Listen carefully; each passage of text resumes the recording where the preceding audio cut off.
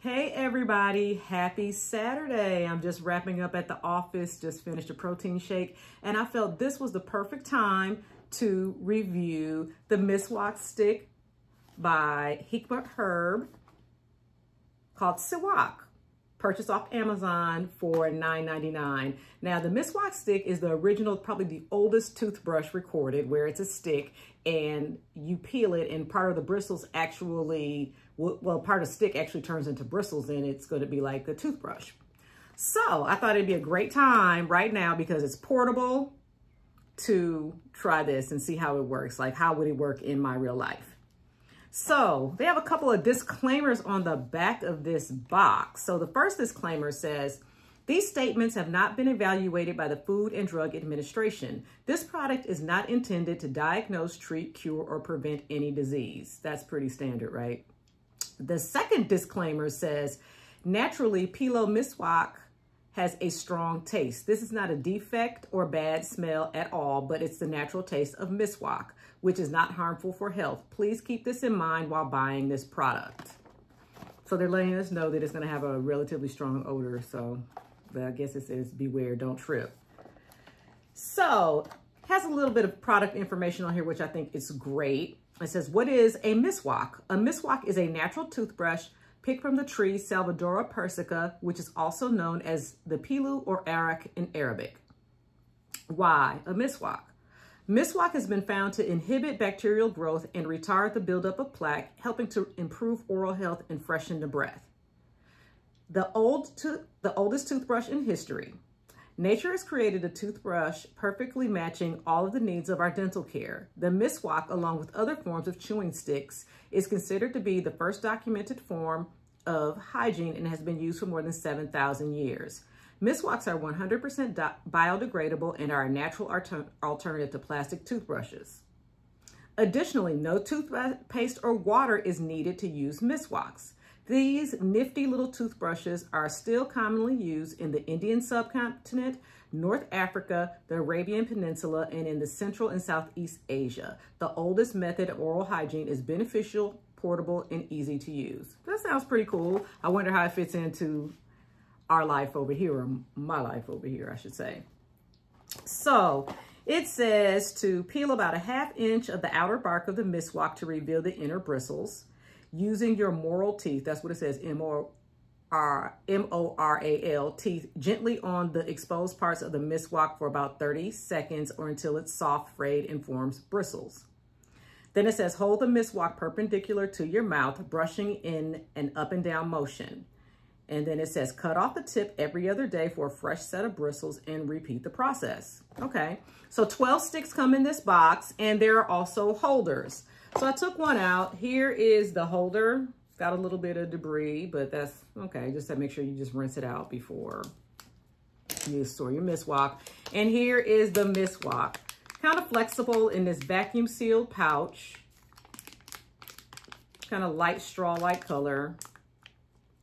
And let's see. Let's see if it's easy enough to open. Maybe this side is easy enough to open. Looks like it would be this side that would be the easier to open. Oh, let's see, peel it. Okay, let me see it peeling.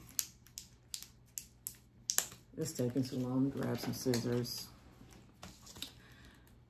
I do keep scissors in my car, so I if I was doing this. Okay, now, so I'm taking the Pilu out, the miswak stick out of the package. It does have like a herbal odor. Like a smoky herbal or odor. Different. Okay. So you're taking it out and it does look like a stick. There's like a little bit of a, looks like it may have been a little bit of a dampness to it. It's pretty flexible. Put you in a mind frame a little bit of incense. But not like the dragon number seven or whatever, the some like good incense or uh, was it Shag Nabra, Nabra or something like that? Those good incenses, it's not like that. Or oud or jasmine, not that good incense. It's herbal, like a herbal stick. So as you see, I've peeled it off And these are the bristles. It's pretty easy to peel.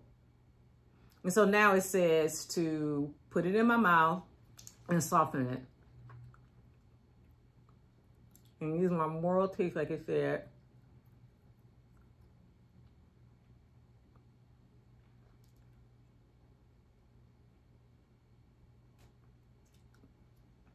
It tastes um like it smells and little pieces come out. So you're gonna have little pieces of this like bark in your mouth.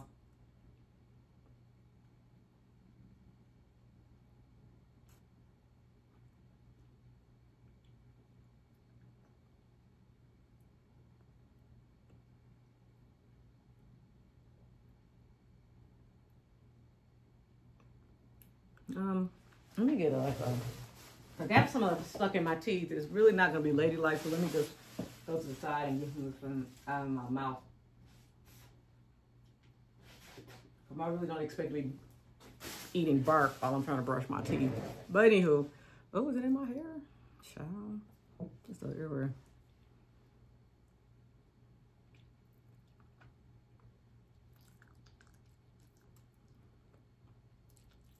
So I feel like I need to floss after doing this because there's little pieces of bark that's getting in between my teeth.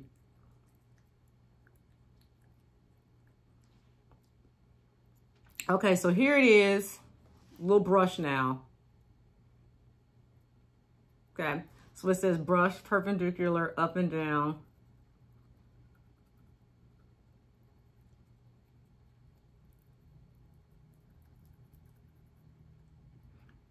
I thought something like this would be good, brushing in between my liner trays and things like that, instead of using a regular toothbrush all the time. To me, it's kind of weird to not also rinse.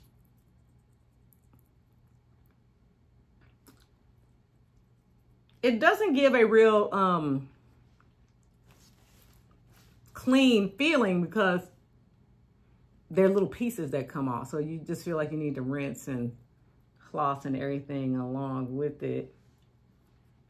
Um, the taste is, like I said, it tastes the way it smells. So I didn't find it, I don't find the taste super offensive or super strong, but I think my thing about it is just like the little pieces that keep coming off of the bark that are a little, um, how would I say it?